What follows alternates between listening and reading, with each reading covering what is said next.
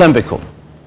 في اليوم الدولي لضحاياه ملف الاختفاء القسري والمفقودين في العراق يشغل حيزا كبيرا من ساحة المناقشات. بنسبة تراوحت بين 250 ألفا ومليون شخص. أسر تعيش في جحيم التجاهل والنسيان. نزاعات وإشكالات اجتماعية وقانونية وشرعية. ثلاثة مراحل مرت على العراق غيبت خلالها الآلاف. الأولى ابتدأت منذ بدء حكم النظام البائد. والثانية كانت في مرحلة سيطرة الأمريكان. والثالثة بعد اجتياح عصابات داعش الإرهابية. وأخيرا وبعد صمت الحكومات أقرت حكومة السوداني قانون مكافحة الاختفاء القسري وأحالته إلى البرلمان. لكن الأخير لم يصوت عليه لغاية الآن بسبب الاعتراضات والانتقادات وافتقاره للآليات والإجراءات بحسب ممثلي الشعب. ثمانية اتفاقات دولية وخطط استراتيجية وما زال الملف دون حلول تذكر كواقع الخروقات التركية في شمال العراق الذي امتد ليصل إلى كركوك والصمت الحكومي هو الحاضر الوحيد وسط غياب المواقف. فهل بات الاجتياح مشروع في ظل هذه المعطيات؟ أهلا بكم إلى التفاصيل.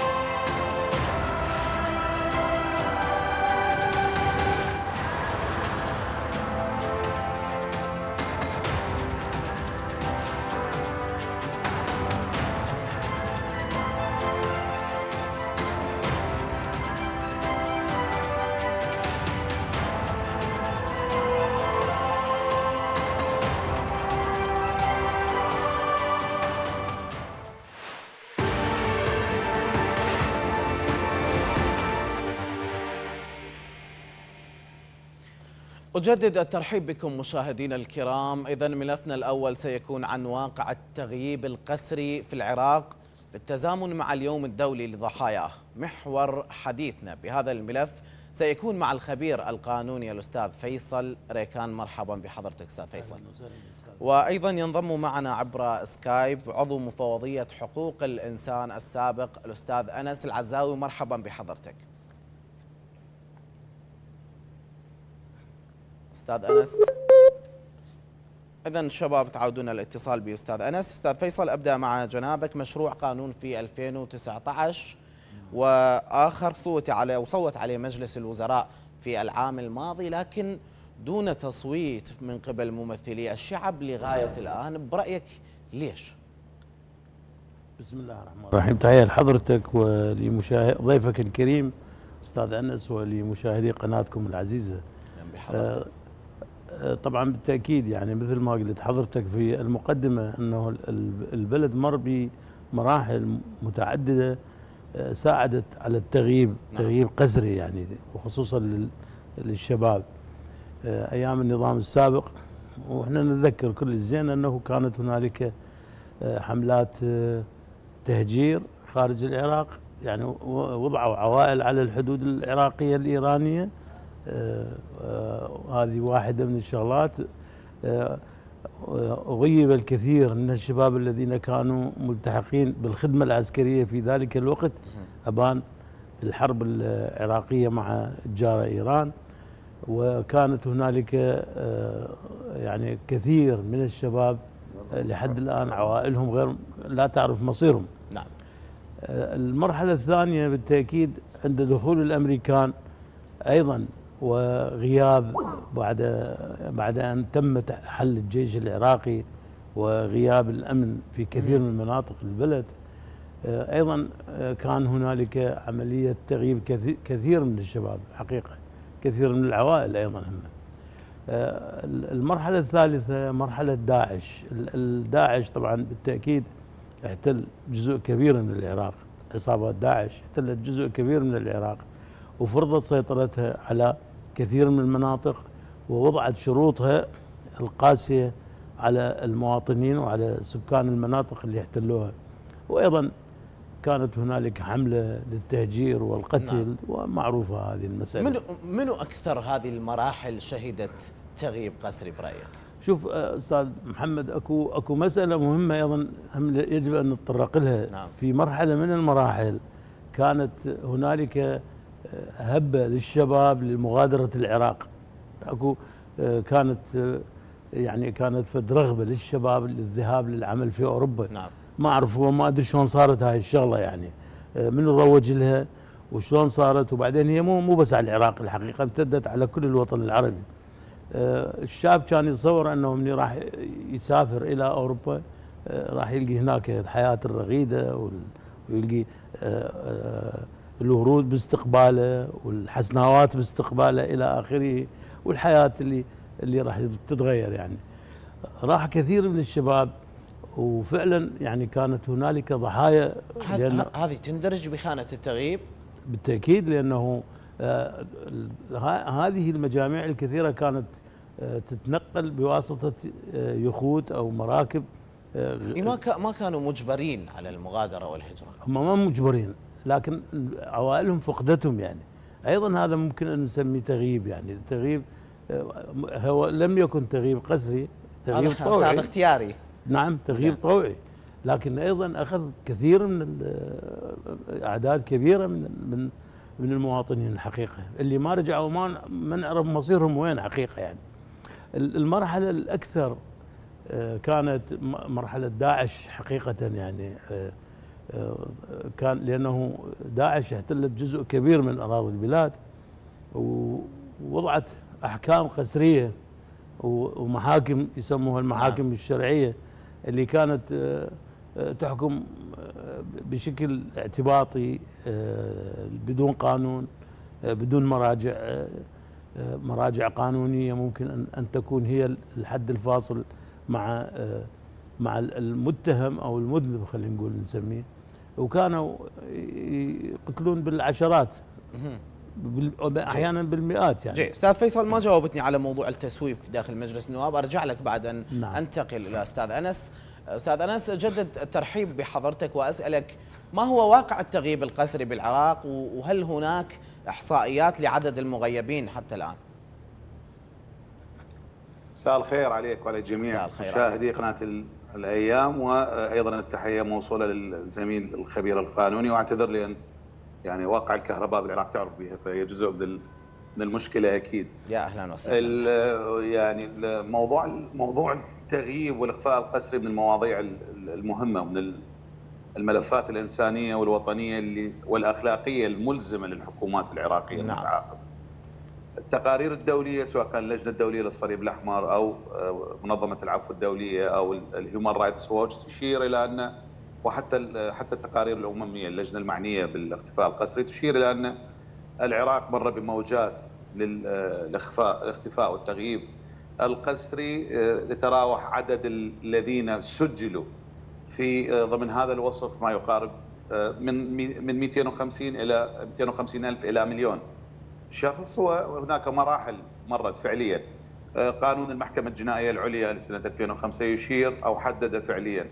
جريمة الإخفاء القسري باعتبارها إحدى الجرائم ضد الإنسانية التي لا تسقط بالتقادم وحددها من تاريخ 19 من تاريخ 17 تموز 68 وصولا إلى إلى 9 4 2003 لكن فعليا آه، هناك آه، يعني آه، عمليات أو بعض الجرائم التي ينطبق عليها وصف الإخفاء القسري نعم. من 2003 إلى 2014 ومن 2014 إلى يعني مراحل التحرير وما بعدها وأيضا ثورة تشرين أيضا شهدت بعض عمليات الإخفاء القسري والمفاجاه إنه البيان الصحفي الذي صدر من اللجنة الدولية للصليب الأحمر بعثة العراق اليوم أشار إلى تلقيهم بلاغات في في 2023 وصلت إلى 1500 آه، ادعاء بالإخفاء القسري وهم قاموا بإجراءات و أستاذ أنس هذه هذه الإحصائيات اللي ذكرتها من عام 2003 فما فوق إذا نرجع نعم. قبل عام 2003 أكو إحصائيات؟ لا فعليا فعليا لم لم يكن هناك أي بنك معلومات لهذه الإحصائيات لكن هذه الإحصائيات معتمدة على على الطلبات أو الادعاءات التي وصلت إلى اللجنة الدولية للصليب الأحمر أو ما بعدها للجنة الأممية للمعنية بحالات الاختفاء القسري والكلام يعني لا توجد إحصائية رسمية حكومية حتى نتحدث بها. يعني جنابك تعرف إنه أغلب الإحصائيات الدولية قد يكون يعني يجانبها يجانبها الصواب بما يقارب ال 65% لكن فعليا فعليا ملزمين باعتمادها باعتبار إنه لحد الآن ليس لدينا قاعدة بيانات وطنية من الممكن أن أن نحدد الأعداد، نعم خلال فترتنا السابقة في المفوضية العليا لحقوق الإنسان نعم. من 2017 حتى الربع الأخير من 2021 كانت هناك لدينا قاعدة معلومات وإحصاءات جمعناها خلال فترة عملنا لمدة خمس سنوات لكن هذه فعليا يعني تبقى في خانة الادعاءات إلى حين إثباتها من قبل القضاء العراقي وهذه إشكالية كبرى وبالتالي نحن لا زلنا كدولة عراقية وكحكومة عراقية أسرى الإحصائيات الدولية التي تنشر وآخرها الإحصائية الصادمة نعم. للجنه الدولية للصليب الأحمر من كانون الثاني 2024 وإلى حزير إلى نهاية حزيران. 2021 2024 تلقت اللجنة الدولية ما يقارب 618 بلاغ واجابت أو يعني وصلت إلى نتيجة ما يقارب ال 208 حالة. وبالتالي هذا مؤشر خطير بالنسبة لنا كناشطين ومهتمين بحقوق الإنسان وأيضا للمجتمع الدولي إنه هذه الجريمة مع غياب قانون يجرمها ويمنع المرتكبيها من الافلات بالعقاب إنه هذه الجريمة لا زالت مستمرة وبإحصائيات صادمة ومع الأسف لا زال هناك صمت حكومي لا يمكن تفسيره لحد هذه اللحظة. أستاذ أنس هل جنابك سأل نعم اذا نعم. تسمح لي هل هناك مغيبين قسريا في سجون عراقية حتى اليوم؟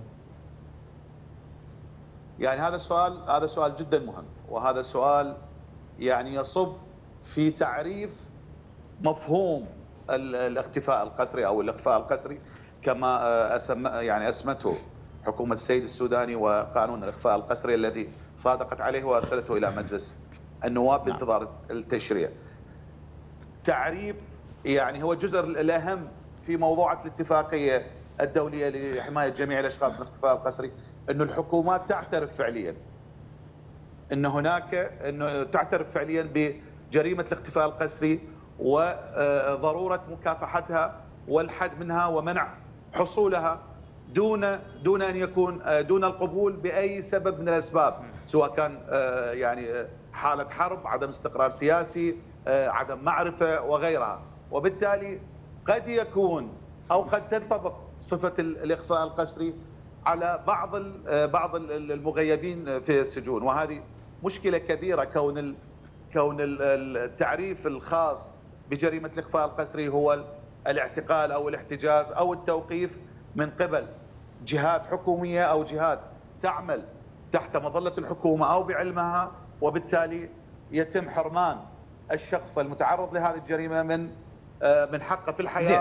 أستاذ أنس شنو شنو شنو طرق التغييب في السجون حسب اثره أو أو شنو نعم؟ شنو طرق التغييب في السجون حسب ادعاءات الأهالي وحسب متابعاتكم يعني هل هناك مثلا يعني سجون سرية أم آه، آه، ربما بطريقة وأخرى من خلال تعذيب وغيره آه، يغيبون يعني هذه بعض الادعاءات بالنسبة لذوي الضحايا إنه نعم هناك هناك سجون سرية أو أو فعليا تم تم اعتقال أو احتجاز أو أسر ذويهم من قبل جهات حكومية وبالتالي ومن ثم لم يتم الاستدلال عنهم ولم يعرف مصيرهم ولم يبلغون ولم يستطيعوا حتى توكيل محامين للوصول إلى مصير هؤلاء. وبالتالي من الممكن أن يكونوا في في السجون ومن يمكن أن يكونوا آه، قد يعني مثلا آه، تعرضوا إلى الوفاة أو لأسباب عدة من ضمنها التعذيب.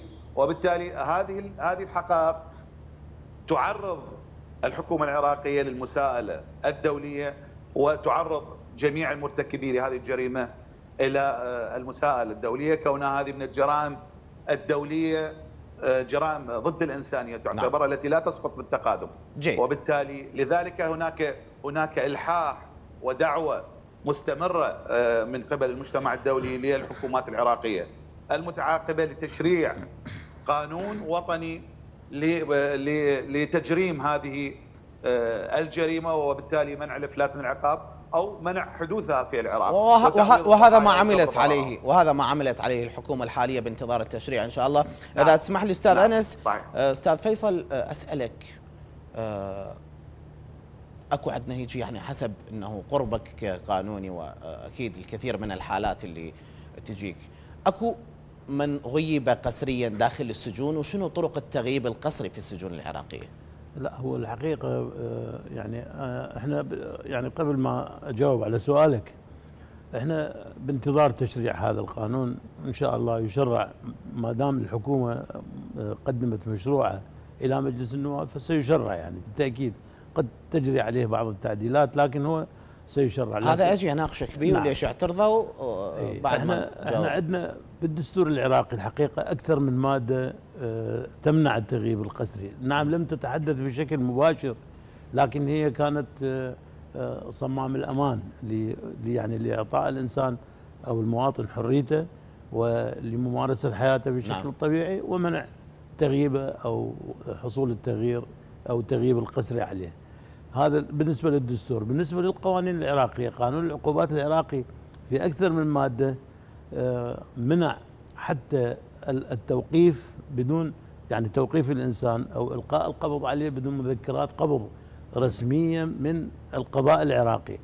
وعرض وعرضت من يتجاوز على هذه المواد آه، بعقوبات السجن. تبدأ من سنة وتصل إلى سبع سنوات. حقيقه يعني كل الموجودين بالسجون العراقية الآن كلهم صادرة بحقهم مذكرات قبض؟ يفترض أن تكون هذه الحالة. يفترض. نعم. أنا أسألك نعم. اليوم أنت كقانوني ما جايك نعم. أحد أنه عائلة آلاف العوائل يقول لك إحنا أبنائنا مغيبين ما نعرف مصيرهم حتى اللحظة وصار سنوات. نعم مو هو هذا هذا السؤال. السؤال المهم العائلة يفترض أن تفهم ابنها وين راح يعني. من من الذي ألقى القبض عليه؟ أو من الذي غيبه؟ خلينا نسميها خلينا نعطيها التسمية. جهة حكومية اقتادته إلى إلى مقر حكومي آه، آه، يعني آه، عصابة معينة إجت أخذته داعش جهة من من يعني من عصابات داعش اقتادتها إلى أماكن غير معروفة. هذه الحقيقة الإجابة عليها صعبة. يعني إحنا صارت كثير من الحالات وكثير من العوائل اشتكت. وكان يعني كان موضوعهم آه، أمام القضاء حقيقة يعني متابعة من قبل القضاء. لكن الوصول إلى الحقيقة والوصول إلى المنفذين للعملية أو المجرمين الذين قاموا بعملية التغييب صعب جدا. يعني بالتأكيد مثل ما قال الأستاذ أنس أنه هذه جريمة دولية وجريمة آه، قد تكون بمستوى جرائم آه، الجرائم الإنسانية الحقيقة. أكو حالات تغييب حصلت بالسجون من جراء التعذيب للمتهمين وشلون يتعامل معها القانون العراقي؟ القانون العراقي يعني قانون العقوبات العراقي قانون آه، آه، والقوانين الأخرى الجزائية بالعراق آه، هنالك قاعدة قانونية قاعدة فقهية قانونية حتى ومنصوص عليها طبعا. نعم. تقول أنه لا يعتد بال يعني لا يعتد آه، آه، بالاعترافات التي تؤخذ من المتهم بالإكراه. يعني سواء كان عن طريق التعذيب الجسدي التعذيب المعنوي آه، أساليب أخرى هذه لا يعتد بها أمام القانون. هسه من غير الاعترافات أكو ناس ماتت تحت التعذيب بالسجون العراقية. طبعا يفترض أنه تكشف هذه الحالات وقد تكون هنا يعني يعني بصراحة خلينا نتحدث أيضا آه، داخل السجون العراقية عندما تصل هذه المسائل إلى القضاء العراقي القضاء لن يسكت عنها حقيقة. يعني يخ يعني يحتجز شخص أو يلقى القبض عليه دون أن يصل إلى الجزاء. أعتقد هذه للقضاء هذه جريمة أخرى يعني. نعم. يعني بالإضافة إلى جريمة التعذيب أو أو الوصول إلى إلى مسائل معينة آه، قد تكون آه، جريمة مضاعفة هذه. يتحملها من قام بعملية الإلقاء القبض بدون مذكرة رسمية وبدون مذكرة قضائية وبالتالي إجراء عملية التعذيب عليه من أجل انتزاع اعترافات من عنده هذه جريمة أخرى. خلينا نرجع للقانون أستاذ فيصل، مجلس الوزراء آه، صوت على القانون ووصل إلى مجلس النواب تقول يصوت عليه في حال تم إضافة أو تعديل بعض الفقرات فيه. شنو أبرز الفقرات اللي تحتاج تعديل برأيك؟ وليش هذه المماطلة والتسويف من 2019 إلى آه، إلى الآن؟ هو شوف أنا إحنا دارين نتحدث عن آه، سلة القوانين المعطلة في مجلس النواب وقد تصل إلى 150 آه، قانون. نعم. 150 على أكثر من 150 مشروع قانون معطل في مجلس النواب. الحقيقة مر مجلس النواب بمراحل عديدة آه، لم يعني صارت كثير من الحوادث عطلت إجراءات يعني التشريع في مجلس النواب. منها مثلا غياب رئيس مجلس النواب والضجة التي أثيرت نعم. حوله. وبالتأكيد يعني هو هذا الموضوع آه، أعطيت الصلاحيات كاملة لنائب رئيس مجلس النواب آه، وهو يقوم بواجباته على أكمل وجه.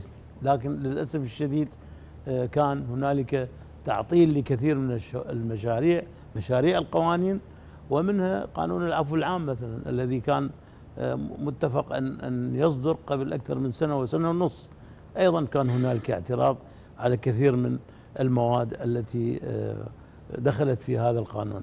أعتقد أنه مجلس النواب آه، يجب أن يأخذ دوره الآن بالمرحلة القادمة آه، وهي مدة أصبحت قصيرة جدا أمام مجلس النواب يجب أن يذهب إلى تشريع كثير من القوانين المهمة ومنها هذا القانون قانون مكافحة التغييب القسري آه الذي قد يكون نافعا أمام الأجهزة الأمنية ونافعا أمام القضاء من أجل الوصول إلى كثير من نعم. الأشخاص جيد جيد أستاذ أنا سأعود لحضرتك شلون تشوف اليوم نعم. توجه الحكومة الحالية للمضي باتجاه التصويت على أو تشريع قانون تجريم التغييب القسري فقط إذا سمحت لي بتصويب صغير قبل ما فضل. أجاوبك على هذا فضل. السؤال فضل. تعقيبا على على كلام السيد الخبير القانوني هي الإشكالية عندنا وأنت كذلك يعني كررت أكثر من مرة انه التغييب في السجون العراقية ودائرة تدري دائرة الإصلاح العراقي تعمل وفق قانون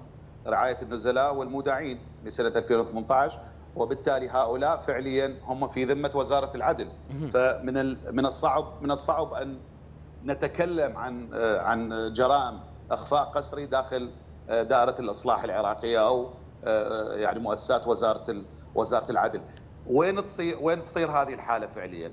هذه الحالة تصير في لتعدد السلطات آه، سلطات إنفاذ القانون الذين منحت منحوا صلاحية الاحتجاز والتوقيف والاعتقال وبعضها آه، بعضها يعني تتمتع بهذه الصلاحيات استثنائيا وليس لديها الحق في آه، في تشكيل مواقف أو سجون. وهذا ما ياخذه المجتمع الدولي بين قوسين على أنها سجون سرية كونها غير معرفة لدى وزارة وزارة وزارة العدل. منو اللي عنده هذه الصلاحيات؟ وكذلك وكذلك وزارة وكذلك وزارة الداخلية بطبيعة الحال. فبالتالي بالتالي آه، يعني آه، مثل هذه الحالات تشكل خرقا للدستور العراقي كما تفضل سيادة آه، سيادة الخبير منو منو منو أي جهه أي جهة اللي منحت هذه الصلاحيات في موضوعات الاعتقال دون دون دون مذكرة قبض أو الاحتجاز لأكثر من 24 ساعة دون السماح للمحامين أو إعطاء معلومات لذوي المعتقل أو المحتجز باعتقاله أو مكان أو مكان تواجده أو أو حتى في موضوعة آه، يعني آه، انتهاك أحكام المادة 27 من الدستور هي الخاصة آه، بالتعذيب و يعني أخذ الاعترافات تحت تحت الإكراه والتعذيب النفسي والجسدي وإلى ما ذلك. وبالتالي هذه إشكالية يجب أن تحل. يجب أن تحل. وبالتالي يعني كثير من هذه الحالات التي ليس لدينا إجابة أستاذ فيصل يقول القانون والقانون العراقي لا يسمح لأي جهة باعتقال أي شخص دون مذكرة قضائية. أي جهة اللي آه، تم استثنائها من هذا الأمر؟ اللي تتحدث عنها حضرتك. يعني لا هي مو استثنائها وإنما يعني منحت لها صلاحيات. تعدد الجهات تعدد الجهات. لا بس اسمح لي. المقصود إنه تعدد الجهات المعنية بالتوقيف والاعتقال والاحتجاز ضيع وحدة الموضوع. نعم هناك اجهزه أمنية متعددة حالنا حال كل دول العالم لكن هناك قاعدة معلومات مركزية فيما يتعلق بالموقوفين والمعتقلين والمحتجزين. يعني هسه وزارة الداخلية مثلا آه، يوميا عندها مثلا آه، آه، جرائم مثلا مشاجرة توقيف غيره غيره اللي يدخل اللي يدخل للمركز المركز الشرطة. يطون علم إلى إلى غرفة العمليات في وزارة الداخلية. نعم. وبالتالي يعني أصبح مال مثل ما يقولون. يعني أصبح إنه هذا الشخص معرف في فلان ساعة فلان توقيت تم توقيفه في مركز فلان مركز شرطة من قبل قاضي الصباحي أو قاضي الخفر لفلان مادة قانونية.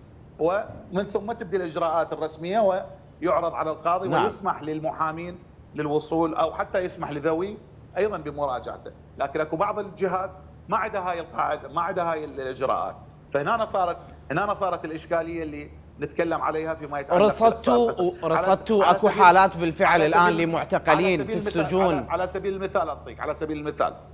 في 2019 مثلا شكلت لجنة الأمر الديواني 29 نعم. صح؟ مو صحيح؟ صحيح. في في حكومة ال الأستاذ مصطفى الكاظمي رئيس الوزراء. السابق. وبالتالي كثير من الاعتقالات التي جرت كانت قبل صدور قبل صدور مذكرات الاعتقال. وفي بعضهم تم توقيفهم أو يعني آه، آه، آه، اعتقالهم من بيوتهم دون أن تكون هناك مذكرة قبض ودون أن يعلم أهل أهل المعتقل بالجهة التي تمت اللي تم اعتقاله. إلا بعد بعد يعني شهر أو غيره يلا يبدون يلا يطون يطون معلومة أو نجدة الاهله وبالتالي هذه الحالة هذه الحالة مثل هكذا حالات ينطبق عليها وصف وصف الاختفاء القسري كونها جهة حكومية أو جهة تعمل تحت بموافقة الحكومة أو تحت مظلة الحكومة. وبالتالي يعني ينتج عنها حرمان الفرد من آه، حق أستاذ أنس آه، رصدتوا بالحرية وغيرها. رصدتوا حالات نعم. لمعتقلين محتجزين آه، نعم.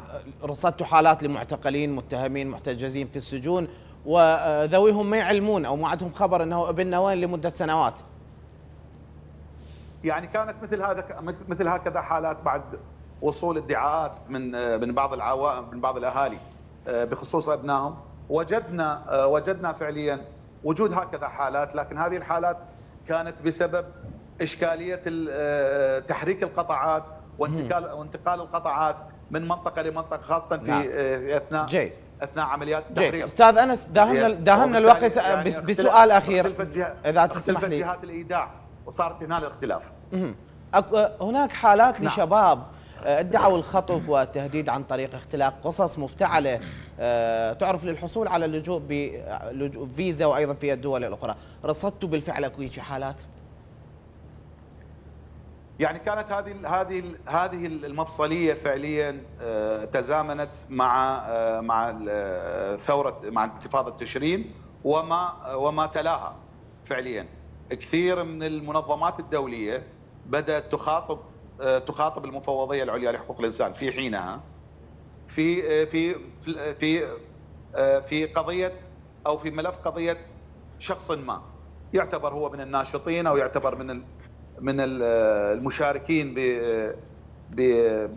بتشرين وبالتالي تعرض إلى إلى التهديد تعرض إلى الملاحقة تعرض إلى إلى التوقيف أو التغييب والاختطاف و آه، أجبر على مغادرة العراق. هكذا حالات كانت موجودة فعليا والتقارير المفوضية خلال تلك الفترة بس بس فعليا. بس اكو الكثير من الكثير من القصص المفتعلة اللي اختلقوها شباب اللي هاجروا.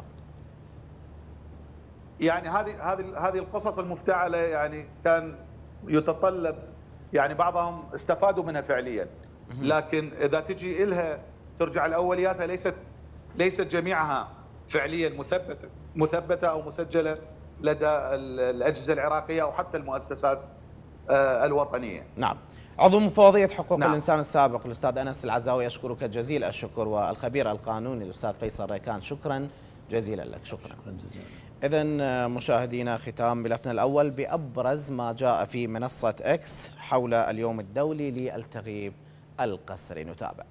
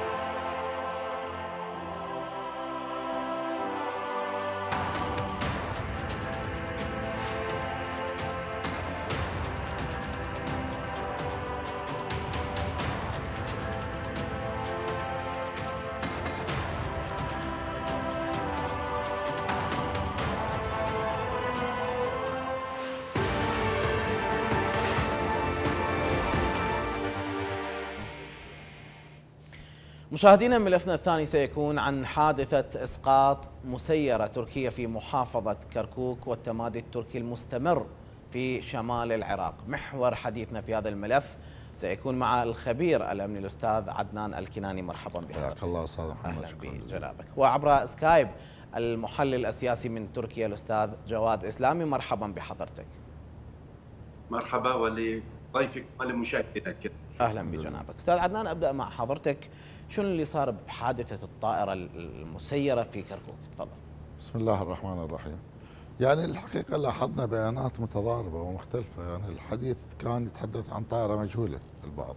نعم. والبعض الآخر تحدث عن طائرة تركية قبل أن يتأكد إنها طائرة تركية. زين. وبعض البعض الآخر تحدث انه أسقطت هذه الطائرة آه، عن طريق المضادات الجوية العراقية. والبعض الآخر قال سقطت الطائرة. إذا يعني لا نعرف لحد الآن هل سقطت أم أسقطت. هل الطائرة هي فعلا تركية؟ أكو مقاطع فيديو انتشرت على مواقع التواصل الاجتماعي كل هذا- لجنود عراقيين و... بعلم التحليل الأمني كل هذا ما ما تاخذ به ولا تعول عليه إذا ما تأكد من الحقيقة المطلقة. زين. هنا أكو أمور تدار داخل الدائرة الأمنية شكل وأمور تعلن على الملأ شكل آخر. الذي يعلن يفترض أن يكون دقيق 100% لا يقبل الشك أو الطعن. لأنه بخلاف هذا ربما تكون هنالك دعاوى قضائية مشاكل سياسية مشاكل أمنية مشاكل دولية وهذا يعني يفترض أن نبعد عنه كثيرا.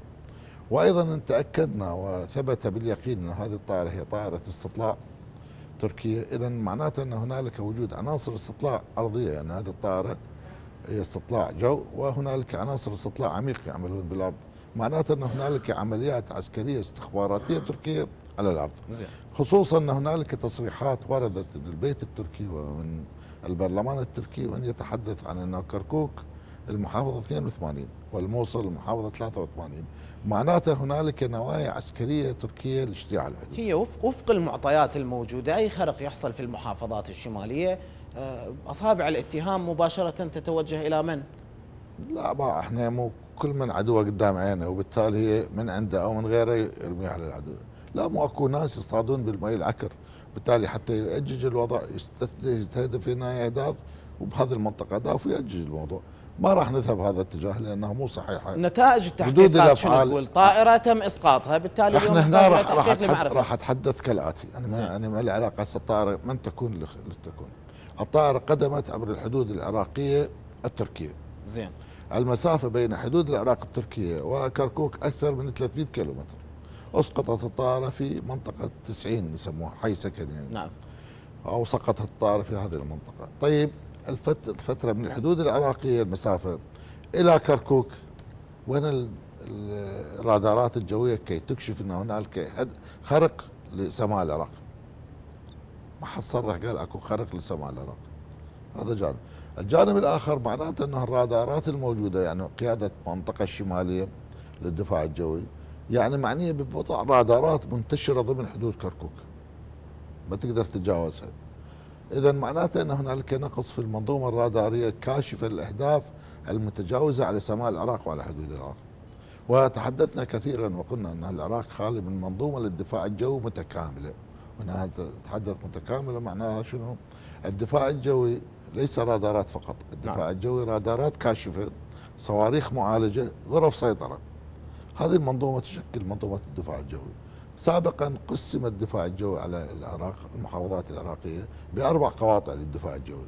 قاطع في آه، محافظة دقار وكان في قاعدة الإمام علي وقاطع في بغداد نعم. وقاطع في محافظة كركوك والآخر في محافظة الأنبار منطقة اتش 3 أستاذ عدنان إذا الطائرة ثبت أنه تم إسقاطها من قبل الدفاعات الجوية العراقية ليش تم إسقاطها في كركوك وهي آه، مرت بمحافظتين أو ثلاث محافظات في إقليم كردستان؟ مو هنا نتحدث يقول أنه معناته أنه هنالك خلل بمنظومة الدفاع الجوي العراقية. وهذا الخلل واضح لأنه حتى ما حد صرح قال أنه هنالك خرق لسماء العراق. الرادارات المفروض من نوزع قاطع الدفاع الجوي الأربعة أي خرق للحدود العراقية. قبل ما توصل أو يوصل الهدف لحدود العراق يكشف من قبل الرادارات. وتصبح الأسلحة مهيئة للرد على هذا الهدف. فقط غرف السيطرة تنطي معالجة. أضغط زر معالجة. تبدأ الصواريخ تاخذ اتجاه الريح ارتفاع الهدف نوع الهدف تتقاطع وتبعث له صواريخ حتى تعالج الهدف. الآن ما جيد. موجودة هاي المنظومة. جيد. خصوصا إنه هنالك تعدد بالأهداف الجوية. سابقا كان العراق يخشى فقط من طيران المقاتل. ما حد يتجرأ إنه يبعث صواريخ لأرض العراق. جيد. إذا كان يرد عليه يسمح لي. والمسيرات ما كانت موجودة أصلا. الآن الخروقات على السماء من المسيرات والصواريخ البالستية مع الطيران المقاتل. معناته لابد تتعدد آه، الدفاعات الجوية تتعدد بما يتلائم مع نعم. الطيران العالي والطيران المتوسط والطيران الواطي وكل من كل هدف إلى نوع من السلاح اللي يعالجه. هكذا يفترض أن يتعامل الدفاع الجوي لحماية سماء العراق. إضافة إلى هذا هنالك خطوط طول وعرض وضعت من قبل الجانب الأمريكي. لا تستطيع لا قيادة الدفاع الجوي ولا القوة الجوية العراقية ولا الطيران المدني. الطيران على هذه المناطق الحمراء التي حددها القوات الأمريكية. هم يخشون على قواعدهم أو ربما لديهم أهداف استراتيجية باماكن معينة. لذلك لا يسمحون للقوة الجوية العراقية وحتى للطيران السمتي أن يطير بهذه الأجواء. نعم جيد. آه، إذا تسمح لي أنتقل إلى الأستاذ آه، جواد، أستاذ جواد أسألك تركيا تمادت كثيرا مؤخرا في شمال العراق واليوم وصلت إلى كركوك، ما الذي يجيز لها ويشرع لها هذا التمادي؟ وهل هناك آه، اتفاق مع الحكومة العراقية بهذا الشأن؟ تحية لك ولضيفكم الكريم ولمشاهدينا الكرام. هذه المشكلة دائما نراه بين العراق وتركيا مع الأسف الشديد. آه، كانت هناك تصريحات طبعا لبعض العسكريين العراقيين أنه نحن أسقطنا هذه المسيرة وغير ذلك. الآن في داخل تركيا يقولون هناك نقص في الاستخبارات في التنسيق بين بين الاستخبارات العراقية العسكرية وبين الاستخبارات التركية. طبعا آه، آه، يعني كان هناك كانت اتفاقات قوية جدا في الآونة الأخيرة بين الحكومة العراقية والتركية حول هذا الموضوع. لكن لم تأتي لحد الآن تصريحات من الحكومة التركية بشكل سلبي مثلا أنه لماذا اسقطوا هذه الطائرة المسيرة أو لا؟ مبدئيا هذه المسيرة تعود للجانب التركي؟ نعم نعم. آه، هنا تصريحات كانت أن هذه المسيرة مسيرة تركية. في الوقت الذي نريد أن يكون هناك طريقه تنميه والشراكة العراقيه التركيه القوية في هذا الموضوع وفي الوقت الذي سمحت تركيا لدخول العراقيين بلا تأشيرة ولو جزء منهم نعم. إلى تركيا والعلاقات الاقتصادية صارت قوية جدا. نحن أيضا هنا نستغرب لماذا تصير مثل هذه المشكلة. يعني اتهامات دائما كانت من قبل الجانب العراقي حول قصف المواقع العراقية من قبل القوات العسكرية التركية. في الأشهر الأخيرة لم نسمع شيئا من القصف. لكن المسيرات هذه كانت للاستطلاع وليس لقصف وغير ذلك. اولا استطلاع شنو أستاذ جواد؟ هو اليوم السؤال المطروح ما الذي تفعله مسيرة تعود للجاره تركيا داخل محافظة عراقية دون تنسيق ودون أي علم مع الجهات الأمنية المختصة؟ طبعا بالنسبة إلى الاستخبارات بالنسبة إلى حزب العمال الكردستاني الإرهابي وليس غير ذلك. طبعا إذا لم يكن هناك تنسيق بين الجانبين هذا الخطأ يرجع إلى القوات التركية وإلى آه، أستاذ جواد برأيك الموضوع يقتصر على حزب اليوم؟ نتحدث عن انتهاك سماء وحدود دولة مجاورة. فهل يعني هذا العذر يسوغ للجانب التركي بأن آه، متى ما تشاء أن تطلق مسيراتها لتعيث في أي محافظة تشاء داخل العراق؟ آه، ليس هناك أي حجة وأي تبرير لمثل هذه يعني التحرك العسكري. نعم. إلا إذا كانت هناك حالة طارئة بالنسبة إلى حزب العمال الكردستاني فقط وليس غير ذلك. هنا نقطة بين القوسين طبعا حتى الطارئة ما تحتاج تنسيق مع طبعا طبعا طبعا. يعني كما قلت يعني تركيا تعودت أن تتحرك من جانب أوحدي بصراحة. يعني نحن آه، نرى أنه آه، عندما يرون أي حكومة ضعيفة مثل سوريا والعراق تتحرك القوات التركية بلا تنسيق. لكن كان هذه الكارثة. كانت هي هذه الكارثة. كانت هناك توقعات بعد الزيارات المتبادلة أن يكون هناك تنسيق. لا توجد أي مشكلة أساسية بيننا وبين العراق إلا قضية حزب العمال الكردستاني. بين القوسين أنه لا توجد أي طموحات بالنسبة لنا لا إلى كركوك ولا إلى موصل ولا إلى أي شبر من الأراضي العراقية. لكن لا بد أن يكون هناك آه، تحرك استخباراتي بين الجانبين لا بد أن يكون هناك وفد قوي عراقي يأتون إلى تركيا ويقدمون شكاواهم وأن لا يكون مثل هذه التحركات وغير ذلك. تحرك تحرك العراق وقدم الكثير من الاحتجاجات آه، دوليا لكن دون نتائج، برأيك ما هو الحل المناسب لوضع حد لهذه الانتهاكات المستمرة داخل الأراضي العراقية؟ يعني بصراحة آه، يعني كانت هناك انتصارات عسكرية للقوات التركية بالنسبة إلى حزب العمال الكردستاني الإرهابي. آه، إذا كانت هناك مشاكل إذا كان هناك قصف إلى مواقع المدنية كما يدعي الجانب العراقي أنا أقول بصراحة أن يأتون ويقدمون شكوى أخيرة. وأن تكون هناك ورقة بيد الحكومة العراقية وهو وهي ورقة اقتصادية. أن يتحركون عبر الأوراق الاقتصادية وأنا أظن أنه لا توجد مشكلة غير قابلة للحل. وعلى الحكومة التركية أن تتحرك بحسن نواياها وأن يقدم للعراقي وأن يثبت على أنها تحترم سيادة الحكومة العراقية خاصة هذه الحكومة حكومة آه، مقبولة جدا. ونرى هناك نعم. شعبية في الجانب العراقي. نعم جيد. أستاذ جواد إذا اسمح لي أعود لحضرتك. أستاذ عدنان أستاذ جواد يقول الحكومة التركية تعودت. يعني البيت بيتهم أنه شوكة ما يردون يدخلون يطيرون مسيرة. آه، ليش؟ لأنه الحكومة المقابلة ردها ضعيف ومخجل وتتعامل مع العراق وسوريا براحتها. شنو اللي وصل العراق لهذه المرحلة؟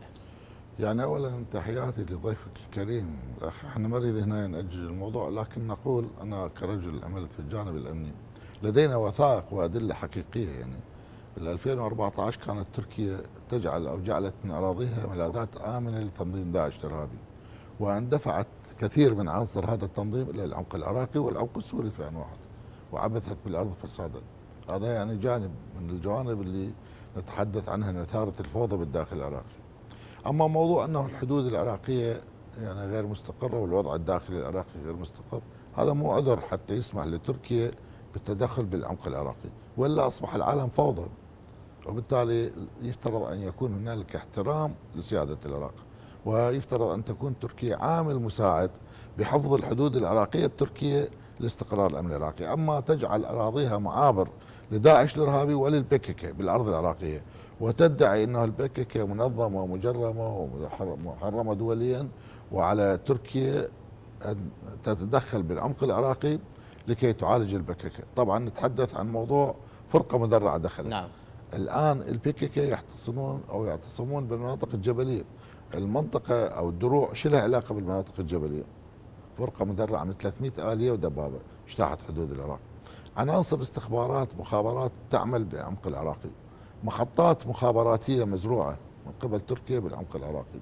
عمليات تجنيد لعراقيون تقوم بها المخابرات التركية. طائرة استطلاع يتم إسقاطها في كركوك. هذا أبسط شيء على انه هنالك دوائر استخباراتية تعمل على قراءة الجغرافية العسكرية العراقية. آه هو هو أنا أسألك طائرة مسيرة يتم إسقاطها في كركوك يتحدثون عن حزب العمال في آه، سليمانية, سليمانية وسنجار برأيك شنو شنو التحركات أو الغايات التركية حتى اليوم نشوف الموضوع وصل لمسيرات في كركوك؟ يعني أنت من تبع الطائرة اختصاص تصوير ومراقبة وحتى ممكن أن تدخل بنظام نعم. المراقبة والتنصت وهي طائرة استطلاعية وتتحول ممكن إلى قتالية في أن واحد معناته أن هذه الطائرة هذه هنالك دائرة معنية بمتابعة أهداف التي ممكن أن تحددها هذه الطائرة.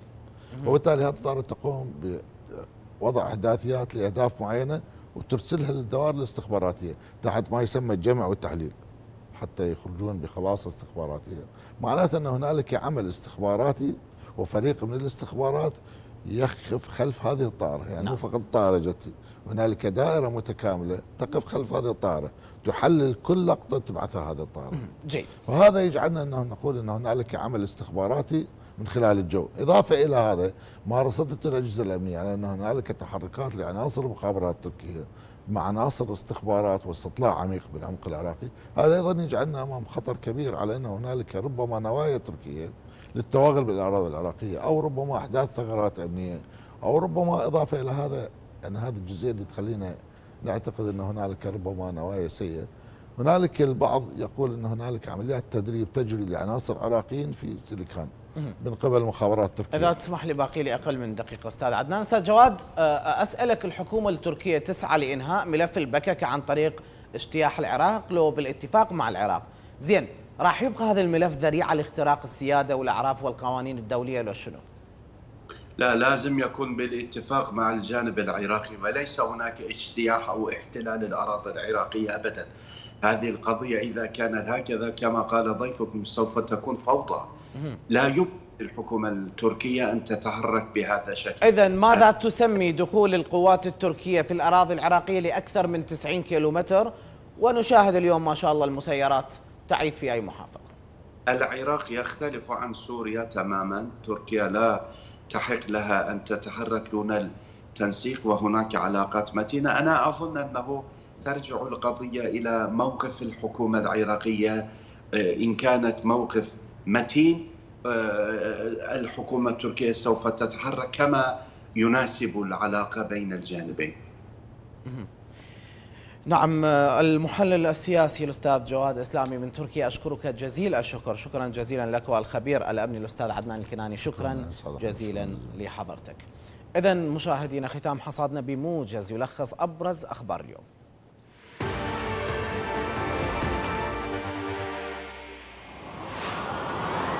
النزاهة تضبط مسؤولا بمديرية استخبارات ومكافحة إرهاب الأنبار لقيامه بالابتزاز والرشوة.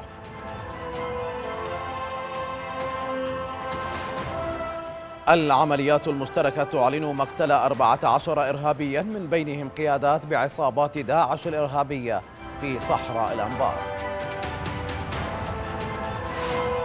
وكالة الاستخبارات تلقي القبض على أربعة متهمين بقضايا الإرهاب في صلاح الدين.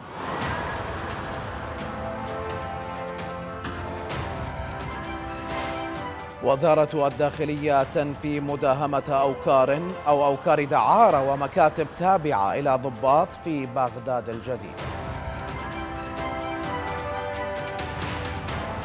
جهاز الأمن الوطني يطيح بشخص يوهم المواطنين بتعيينهم على ملاكه في البصرة.